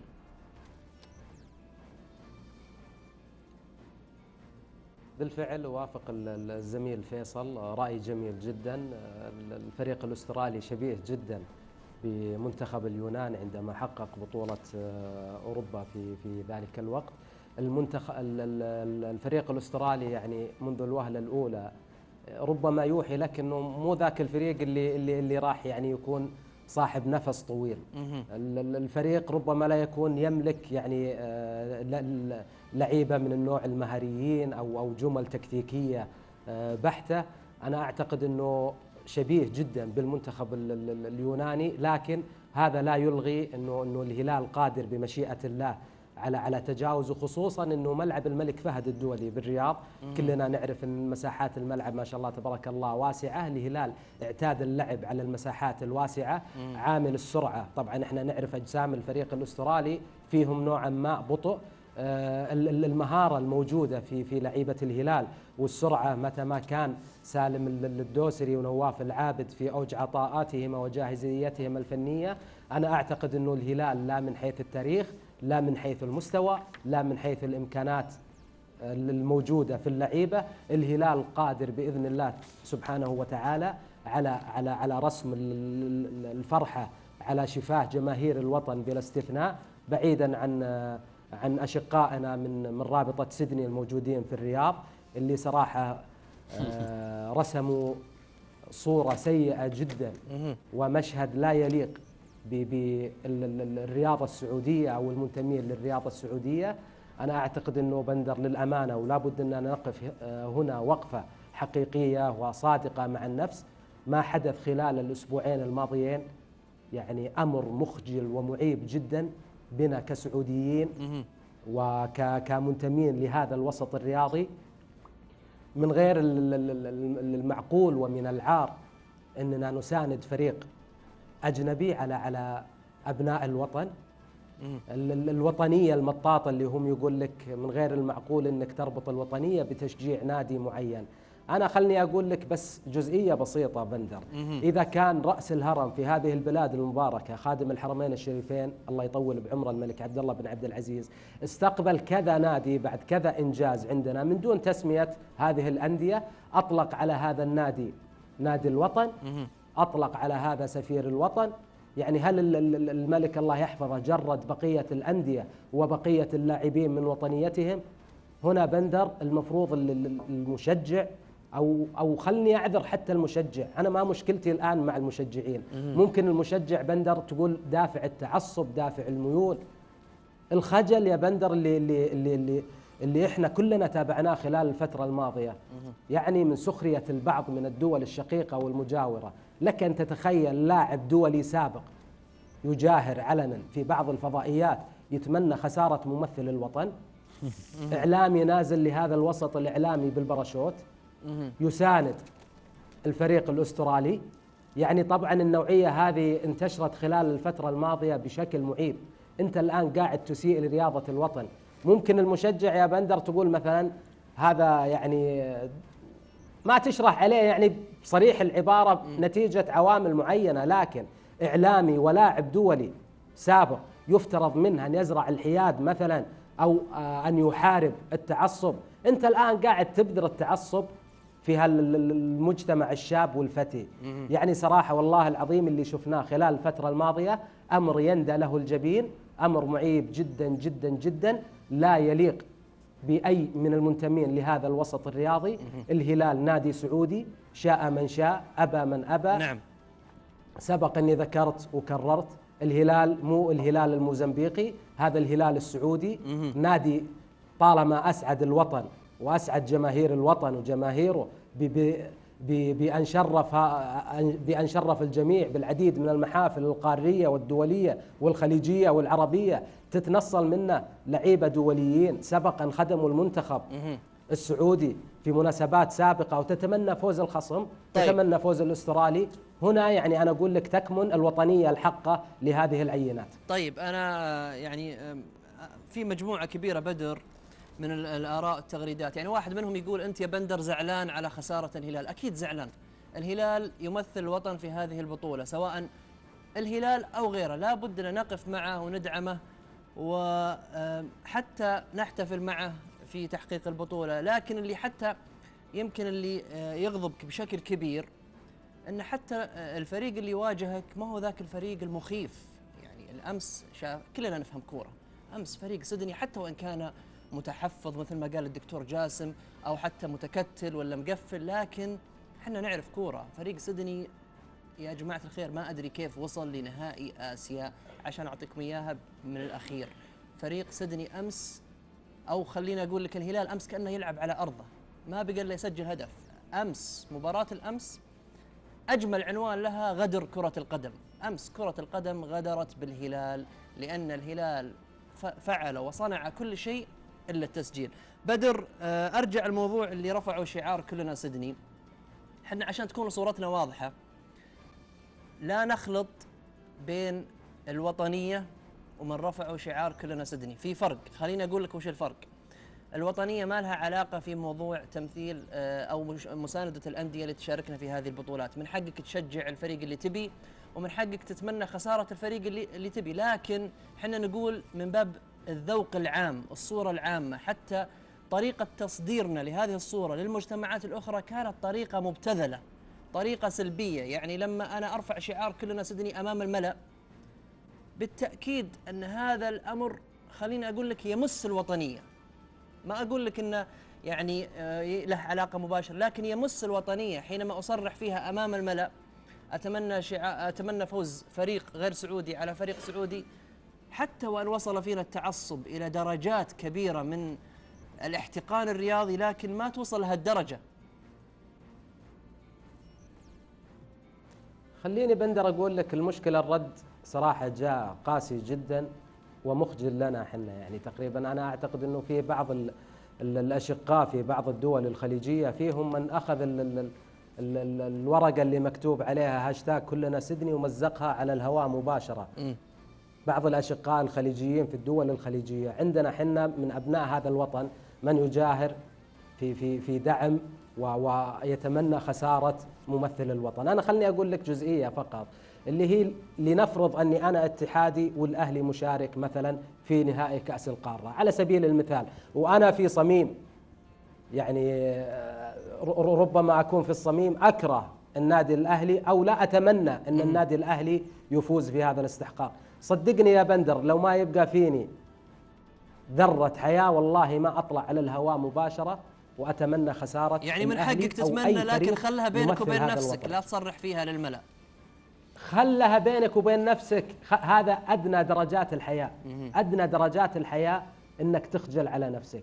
مع هذا أقول لك راح يفرح بإذن الله الوطن وراح تفرح الجماهير السعودية طيب. وبإذن الله في لقاء. الإياب. الجميع موعود بإذن الله بفرح وانتصار لممثل الوطن طيب. بإذن اللي ما له شريك. دكتور جاسم أبغى أسمع رأيك حول هذه القضية. والله شيء محزن بصراحة. يعني أنا أذكر مرة كنت مباراه الأهلي وفريق كوري ظهر سبهان أو أولسان. أولسان. فواحد يسأل يقول أنت ما أنت الأهلاوي؟ ليش مع الأهلي كذا بالشكل قلت يا أخي هذا يمثل ما يمثل نفسه. هذا نادي سعودي قبل ما يصير الأهلي. فيجب إن على الأقل لا أما أقول خير ولا أسكت. أنا مع يعني بصراحة اللي قاعد يصير تو ماتش يعني تجاوز الحدود. يا أخي إذا ما تحب الهلال لا تحب الهلال. يا أخي ما حد جبرك إنك تشجع الهلال أو تحب الهلال لكن لا تدعم ضده. أو إنك يعني مثلا حتى لو جيناها ديانة هذا على الأقل يعني نادي من دولة مسلمة وذاك نادي أنت عارف يعني. يعني خذها من جميع الاتجاهات ما في شيء مقنع. إنك مثلا توقف أما مع سيدني ضد فريق فريق سعودي ما نبقى الهلال. خلينا نقول فريق وطني يعني. يعني سواء اتحاد مثل وقفنا مع الأهلي مثل وقفنا مع الهلال الجاي وقف يا أخي بكرة بيمثل النصر لازم نوقف معه بعد. يعني مو مسألة هي إذا في تنافس داخلي يبقى التنافس. ما في حد في أمس, أمس كان في صورة جميلة دكتور جاسم شعار النصر في آه، المدرجات هناك في كان مساند للهلال يعني واقف مع الهلال. حلو حلو. يعني شوف كيف الروح الجميله يعني خلينا إحنا ترى ما نتكلم عن الكل إحنا نتكلم عن قلة قليلة شريحة سلبية يمكن هي اللي أثرت على آه، الكثير من آه، طيب الرأي العام. ليه هالقلة القليلة من أنا أعتبرها من دسة ويمكنها مأجورة بعد على أساس إنها تسيء لنا إحنا كسعوديين. ما يمكن في سعودي إنه يسيء لنفسه بالطريقة هذه. ممكن ناس مندسين أو مرتزقة بحيث إنهم يطلعون على أنهم سعوديين ويسوون لنا إحنا. لكن ما في ما أتوقع أحد يعني ممكن أوكي في كثير أنا عندي زملاء مثلا نصراويين ما يتمنون الهلال يفوز. من حقهم. بس يقول لك ما راح ما راح أدعم فريق آخر مثل هذا على على على فريق على الأقل سعودي. يعني في منطق في في التشجيع. نتمنى أن الثقافة يعني ترتقي يصير المنافسة على على مستوى المستطيل الأخضر بغض النظر عن من اللي يمثل. بكرة النصر بيمثلنا. إن شاء. الله كلنا بنوقف قلبا وقالبا وأنا أولهم. شوف أقول لك من هالمنبر. أنا أول واحد بوقف معه. أنا ما يهمني. أنا ماني نصراوي لكن أول واحد بيوقف معه هنا. بس إن الآن فريق يمثل بلدي. صحيح. أقابله بالشيء هذا واخلي واخلي إحنا كسعوديين نصير عرضة للآخرين. في نوع من السخرية وكذا اللي يقول لك شوف هذا السعودي شوف شوف كيف رافع ضد ضد فريق بلده. يا أخي العين لما جاي يشارك الاتحاد إيش سوى؟ أجل الدوري علشانه فرغ بشكل كامل. يعني لهالدرجة دعم كامل. دعم كامل. الجماهير جو من جميع الأشكال والأطياف ومن جميع الميول. عموما يعني إن شاء الله هذه أنا أعتبرها فقاعة صابون أتمنى من الإعلاميين يمكن الأستاذ بدر منهم إنهم يوجهون الشباب بالشكل الصحيح. إن لأن المشكلة الشباب منجرفين مع بعض الإعلاميين اللي مع الأسف محسوبين على إنهم إعلاميين. هم من يعني ينشرون هذا التعصب برأي أو بآخر. وهذا غير غير صحيح يا أخي. يا أما إنك يعني تكون فعلا يعني وسيلة فكرية بحيث إنك توجه الآخرين بالشكل الصحيح يا إنك لا تكتب. أو خليك على عمودك ورأيك مثلا اللي المعتاد عليه. التويتر ذا صار الحين بصراحه لا لا لا. كل يكتب فيه ومع الأسف في يعني في تجاوز لحدود الأدب في تجاوز للصدق في تجاوز تزوير مستمر مش عارف إيش. أنا ما أدري ليه يعني وسيلة هذه ليش ما نستخدمها بشكل إيجابي؟ طيب مجموعة من التغريدات واحد منهم يقول آه، طبعا سيل كبير أنا ماني قادر ألحق عليها لكن آه، أحاول قدر المستطاع أني أتوقف عند البعض لكن واحد من المغردين يقول آه، ليش ما تتكلمون عن اللي رفعوا شعار كلنا أولسان ضد الأهلي؟ أنا ما أتكلم عن القلة القليلة السلبية الشريحة السلبية. إحنا في هذا البرنامج وفي قناة الوطن وكل برامجها سنقف قلبا وقالبا. أنا أتكلم عن نفسي ونيابة عن جميع الزملاء في القناة الرياضية. سنقف قلبا وقالبا مع كل من يمثل الوطن هلال نصر اتحاد أهلي. آه، أهلي. حتى واحد من المتسائلين يقول ليش ما تتكلمون عن اللي شككوا في آه، النصر؟ أقول لك أنا كمقدم برنامج وجهة نظر خاصة النصر أول فريق سعودي يشارك في بطولة كأس العالم للأندية. شاء من شاء وأبى من أبى. ننتقل لعنوان في صحيفة مكة.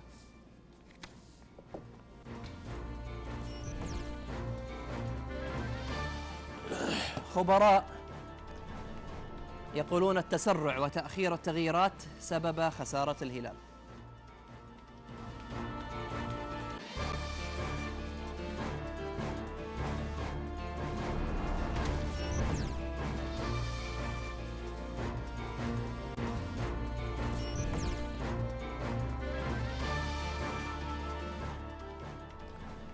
طبعا الدكتور جاسم قبل الهوا كنا نتناقش حول هذا العنوان واعترض على هذا العنوان.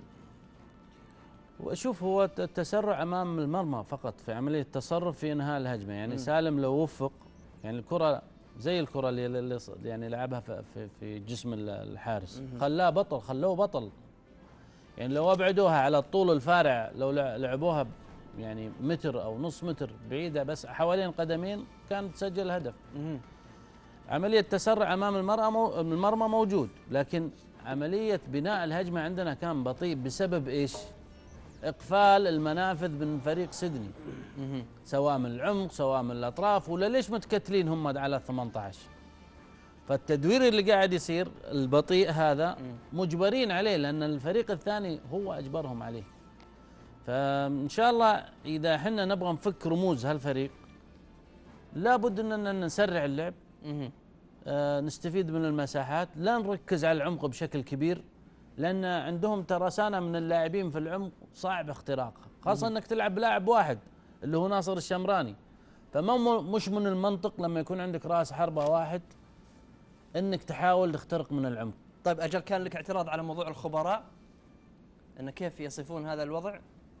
هو عملية تسرع يعني فيها جزئية في جزئية في اللعب فيها تسرع. بس ما كان في شرود ذهني أو عدم تركيز شوف أنا قبل شوي لاعبي الهلال. أنا أقول لك قبل شوي ديقاو آه ترى أخطأ خطأ قبل كذا كان كاد إن يفرد فيها الل- اللاعب البديل رقم تسعة.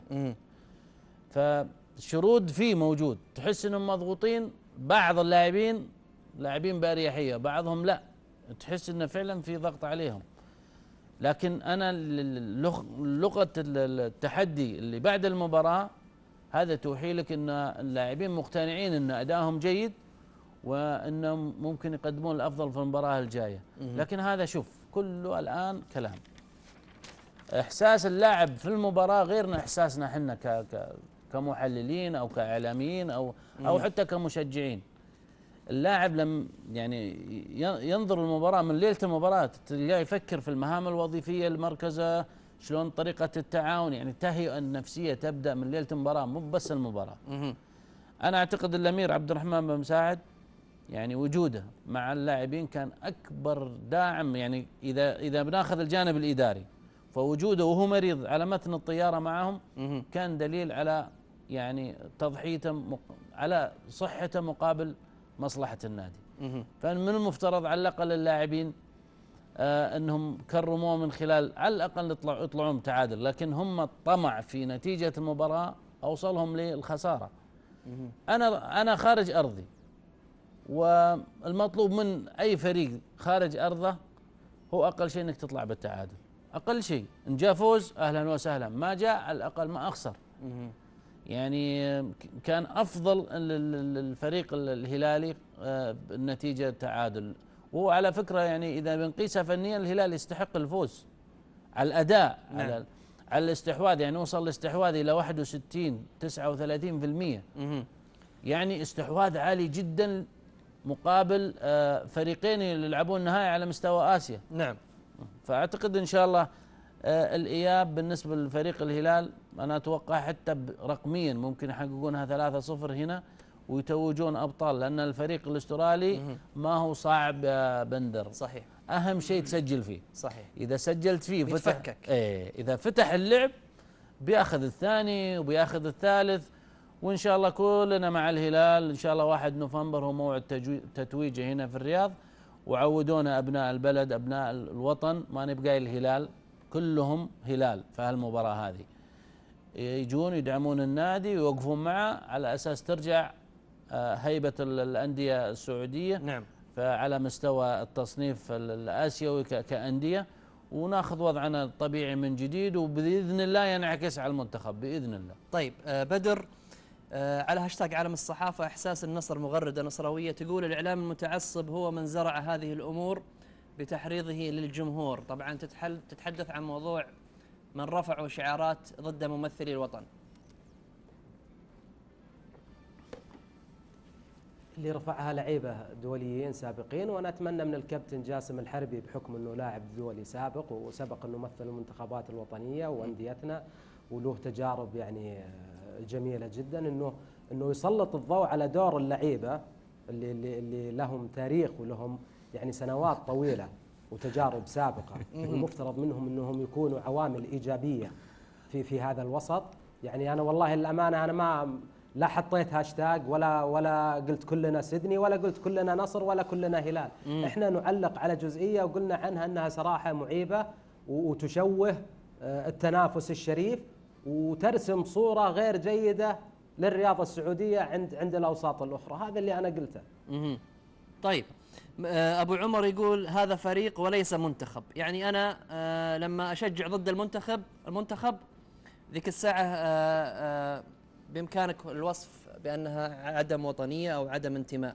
لكن طالما أنها آه، فرق سعودية ما لها علاقة بالوطنية. وهذا اللي إحنا تحدثنا عنه. لكن إحنا نتكلم عن اللي يصرح بمثل هذه آه، الشعارات ضد آه، الفرق الأخرى أو حتى تصديرها المجتمعات الأخرى. أبو محمد باختصار عشان بنتقل عنوان آخر. والله شوف اللاعبين المفروض يكونون قدوة للدوليين حتى لو كانوا في أندية منافسة. شوف كل هالمعني واللف والدوران عشان الكابتن فهد الغريفي أنا أعطيك اياها على أبو فهد أخوي أنا أمون عليه وأنا بتكلم عن نفسي. أمس مغرد تغريدات حلوة قال الهلال أدى بشكل ممتاز وأنا تأخرت في تغريدتي على أساس أشوف الأداء. فمعناته الرجل منطقي إنه في عملية نقده.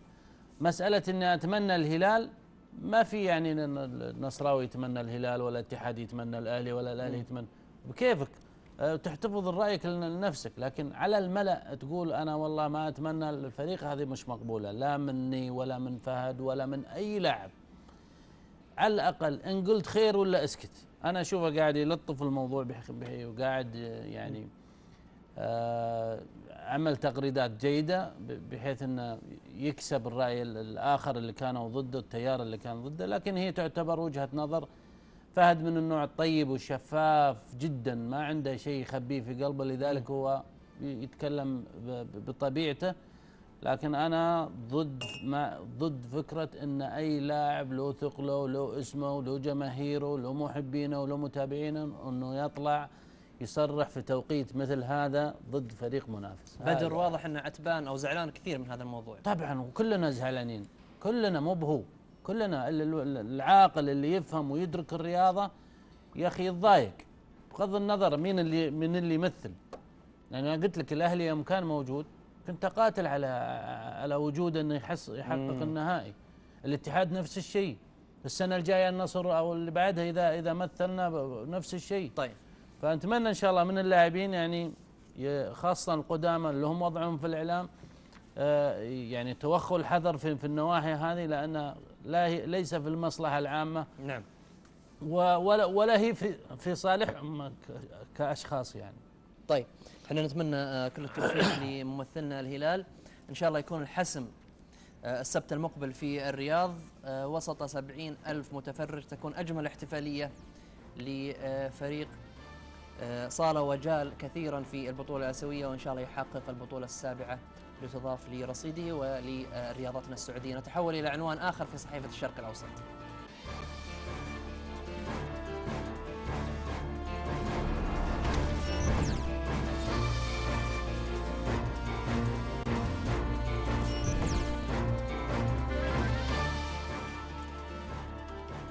الأهلي يتخطى الرائد برباعية والشعلة يقهر الفتح في الجولة الثامنة من الدوري السعودي. النصر يسقط الاتحاد بثنائية هوساوي وغالب في كلاسيكو أصفر عنيف.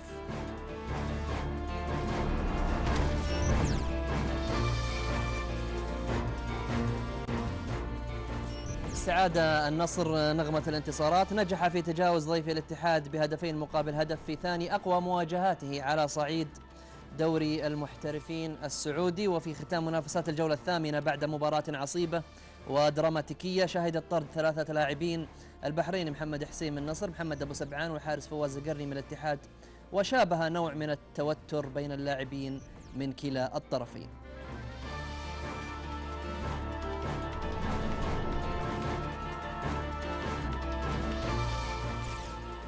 بدر مباراة الأمس بين النصر والاتحاد آه، كانت مباراة غريبة عجيبة شهدت الكثير من الأحداث. طبعا هي تدخل في إطار الأحداث المتوالية اللي تحدث بين النصر والاتحاد تحديدا. يعني كان هناك تصرفات عشوائية من قبل اللاعبين من كلا الفريقين. بندر أعتقد أن المباراة فنيا على على على الصعيد الشخصي أنا لم ترتقي لطموحي كمتابع للدوري السعودي. وشريحة كبيرة جدا لم ترتقي المباراة لذائقة هؤلاء المتابعين، المباراة لم تكن يعني على مستوى وقدر الطموح، كان فيها الكثير من الأحداث ال- ال- المثيرة آه، قرارات تحكيمية خاطئة، النصر آه، استحق ال- ال- النتيجة آه، الاتحاد لم يقدم أمس أي شيء يذكر ربما يكون ظلم في في الهدف الملغى. لم تقدم اطلاقا المباراة يعني انه إنه العالم كانوا قاعدين ينتظرون كلاسيكو مثير. يعني على الصعيد يعني ال- ال- الاداء داخل المستطيل الأخضر. إحنا تفاجأنا أمس خلال المباراة إن الأحداث يعني اللي اللي واكبت اللق- اللقاء طغت على على على الجمل التكتيكية أو الفنية المنتظرة. النصر بندر خلني أقول لك بكل صراحة لم يختبر هذا الموسم. صحيح نعيش ال- الآن الجولة الثامنة لكن لم يختبر إلا أمام ال- الأهلي والاتحاد. أمام الأهلي قدم واحدة من أسوأ المباريات واستحق الخسارة يعني مستوى ونتيجة. أمام الاتحاد أمس صدقني بندر لم يكن النصر النصر المرضي والنصر اللي كان آه، بطل للدوري في الموسم الماضي. آه، للأمانة مو بس ال- مباراة الأمس آه، النصر أعتقد أن من بداية الموسم خاصة مع السيد كنيدة أعتقد أن آه، افتقدنا للنصر الجميل الممتع حتى وإن كان يحقق انتصارات لكن النصر الموسم الماضي شتان ما بينه وبين هذا الموسم. أعتقد هناك حتى لغط كبير ويمكن عدم رضا من الشارع الرياضي حول ما يقدم النصر من مستويات حتى وإن كان يحقق انتصارات. صحيح وهذا ما كنت يعني أنا أنا أريد أن أصل إليه. كنيدا يعني مو بالمدرب المناسب ل- لفريق بطل مثل النصر. الاختيار بالأساس وفي البداية لم يكن صائبا اطلاقا. أنا أعتقد آه، أن المدرب لن يستمر يعني إلا جولة أو جولتين على الأقل. كل المؤشرات الأولية أو بعض المصادر والتسريبات اللي خرجت من البيت النصراوي ان المدرب كنيدا سيستمر فقط حتى المباراة القادمة أمام التعاون. على كل سواء رحل كنيدا أم لم يرحل النصر مختلف عن ال- ال- الموسم ال- الماضي. على الرغم من بعض الإضافات الفنية اللي قدمها بعض اللعيبة الأجانب في الفريق لكن مو نصر العام الماضي. بالنسبة للاتحاد نعم. كان متصدر حتى مباراة الأمس. آه، حتى الاتحاد نفسه لم يختبر يا بندر اختبار حقيقي. كان هنالك قصور كبير في في فريق الاتحاد. آه، بالأمس يعني اكتشفنا بعض الثغرات ما بين آه، خط الدفاع وخط الوسط. كان هناك تفكك يعني ما في بعض خلني أقول لك ما في تفاهم بين خط الوسط وخط الدفاع مم. الاتحاد يعاني من الخطوط الخلفية بشكل كبير إيه. ربما في في الأيام القادمة ومتى ما قابل الفرق الكبيرة راح يعاني الاتحاد عموما ال- ال- ال- ال- الدوري بندر اللي في نغمة الآن بدأت تطلع إنه الدوري اتحادي نصراوي أو أهلي هلالي. أو كذا لا يعني من غير المعقول إننا نجزم بهوية البطل أو نعم. نرشح البطل من الآن الدوري طويل والوقت الدوري مبكر. شاق لن تتضح معالم أو هوية الفريق البطل مهم. الا إلا في الربع الأخير تقريبا من الدوري لكن آه، آه، في شيء جميل قاعد يحصل في الدوري دكتور جاسم آه، التقلبات والتغيرات اللي تحصل في المراكز يعني خلينا نقول لك اتسعت دائرة المنافسة هذا الموسم هذا صح وأنا اعتبر ظاهرة صحية. يعني دخول الأهلي الاتحاد النصر الهلال الشباب خمس فرق الآن كل واحد يقول لك أنا البطل. طيب النصر مقنع فنيا هذا الموسم؟ وان أنا أشوف آه الآن هو متصدر الدوري من خلال فوزه. المتصدر الشباب. آه بفارق نقطة، نعم. بفارق نقطة. لكن فترة كان تصدر الدوري. واثناء وهو متصدر أعتقد أن بعض ال- ال- النصراويين كانوا ينتقدون آه، عدم كفاءته كمدرب. العناصر اللي موجودة مش قادر آه، طبعا آه، يوظفهم بالشكل الصحيح. والدليل على ذلك مباراتها مع الأهلي في في جدة. يعني عندك مثلا ظهيرين صراح جيت تألف وجبت لي لاعبين وسط مكانهم على أساس يغطون المراكز الظاهرين هذا صح. دام. عندك ظهير صريح يجبك إنك تستفيد منه. وفعلا لما نزل كامل ال- المر تغير وضع ال- الدفاع خاصة من من الجهة اليمنى بالذات. فبالتالي هو قراءته للمباريات كمدرب أنا اعتبرها من وجهة نظري ضعيفة. لكن كعناصر النصر عناصر جيدة. نعم. وإذا بنقيسها إحنا على على مبدأ لوبيز اللي قلتها لي قبل شوي أستاذ بندر. انه ماشي مع المنتخب هو هذا ماشي مع الفريق برضه. كنيدا طبعا. أنا اتكلم لغة ارقام صحيح. إيه. تقف في صف كنيدا في صف لكن آه، نتائج. مشكلة كنيدا أن الجمهور النصراوي الرأي العام النصراوي يقارنه بالنصر الموسم الماضي المستويات اللي كان يقدمها مع كارينيو. ففي إشكالية في فجوة كبيرة. شوف عملية المقارنة ما شوف ما في فريق يقدر يثبت على طول. يعني أمس برشلونة في أول 12 دقيقة مسجل هدف. خسر خسر اللقاء 3 1 لا تذكرني يا أبو محمد. لا زي. طيب نرجع النصر عموما يعني ال- الاستعجال على ال- ال- النادي خطأ المبدأ خطأ. الملاحظات إذا وجدت من ال- الفنيين أو حتى من الإعلاميين يجب أن يؤخذ فيها في عين الاعتبار. آه، كنيدا أنا من مش, مش قطعة رزق لكن أنا من وجهة نظري يعني مش في مستوى طموح النصر ابدا. يعني في فرق. بينه وبين المدرب السابق. في تدوير اللاعبين. في قراءة المباراة في الاستفادة من نقاط الضعف والقوه في أثناء المباراة. مهم. آه، هو إلى الآن موفق رقميا مع الفريق موفق. طيب آخر آه، فقرة في حلقتنا أخبار سريعة.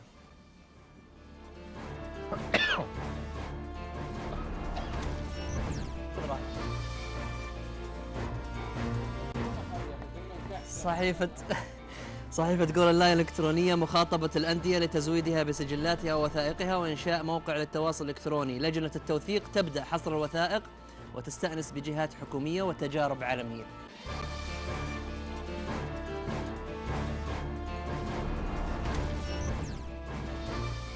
وفي الرياضي اجتماع الرائد بلا نتائج. حضور ضعيف والربدي يخرج غاضبا والنهاية بيان. وإلى اليوم تم تبادل أفكار حول تفعيل الأنشطة الاجتماعية في الأندية، لجنه المسؤولية الاجتماعية تنعش أندية الشرقية بزيارة. في الشرق الأوسط حديث آه، للسيد ريجي كامب ورسالة يوجهها للأستراليين 65 ألف هلالي سيكونون بانتظاركم في الرياض.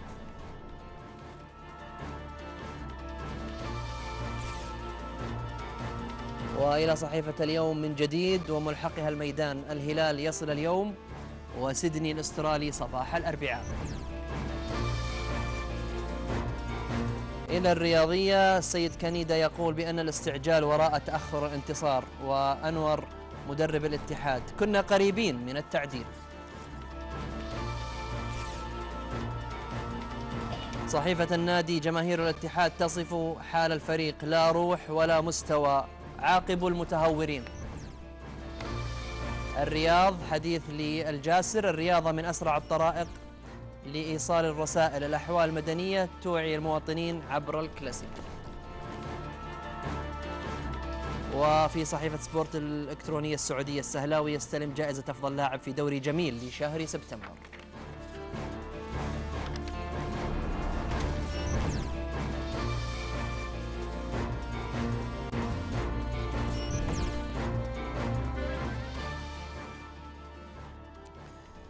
وصلنا إلى آه، نهاية آه، الحلقة. كل الشكر للزميل بدر الصقري من الدمام نائب رئيس القسم الرياضي بصحيفة آه، اليوم. شكرا لك بدر يعطيك العافية. شكرا لآرائك ولتواجدك معنا اليوم. الشكر موصول لك أبو نواف وللدكتور العزيز وللمشاهدين الكرام. أيضا كل الشكر للدكتور جاسم الحربي المدرب الوطني قدير والكاتب الرياضي والإعلامي معروف أبو محمد يعطيك العافية شكرا لك. أنا أهم شيء محاضر ما قلته. أنا أهم شيء كلها المحاضر والباقي خلاص تدريب تركناه صرنا نحل ما مع حفظ الألقاب ما يحتاج معروف ما شاء الله تبارك آه الشكر لك وللأستاذ بدر بصراحة يعني اثرانا كثير بارائه وعجبني كثير بصراحة وأتمنى له التوفيق وأتمنى إنه زي خامته تستمر في آه، الصحف المقروءة بحيث إنهم يوصلون رسائل الصحيحه عن يستاهل الرياضة. يستاهل. بدر إحنا وشكرا لل... تواجده. شكرا للقناة واتمنى إن شاء الله أكون معاكم قريبا وللأخوة المشاهدين ويسامحونا إذا بدا منا أي قصور. آه، بقصد أو بدون قصد آه، المصلحة العامة للجميع. نعم. نحبكم كلكم وإن شاء الله نحتفل سويا يوم 1 نوفمبر بإذن الله. شكرا لك دكتور. كل الشكر لكل من تواصل معنا على هاشتاج عالم الصحافة. عزوز العالمي أهلوية ملكية محمد الزهراني عالمي آه عيسى بن عطلة فايز بخاري زياد الشهري آه ماجدة الدعجاني ولد النصر سالم مطيري ووجدي الكثير والغيرهم الكثير والكثير. إن شاء الله آه غدا